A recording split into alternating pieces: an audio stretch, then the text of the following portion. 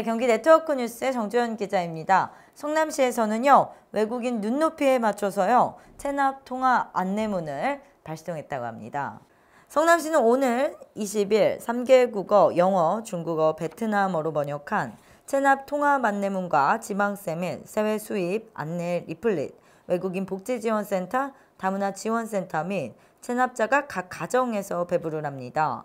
다문화 가족 및 외국인들이 지방세 정보 부족으로 겪는 체납 발생을 예방하고 외국인 납세자 편의를 위해 제작되었습니다.